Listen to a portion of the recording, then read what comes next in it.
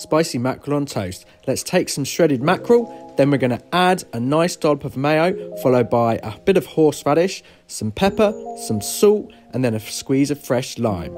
Next up, we're going to add a little bit of spice with my Stockwell Sunshine, and then mix that all together liberally. Put that to one side and then let's get our toast. I've gone with wholemeal for this. Add butter to both sides, dollop on your mix and then spread it all over nice and evenly. Next up, put the nah, I'm only joking, not with this one. You can eat it straight away. Absolutely delicious.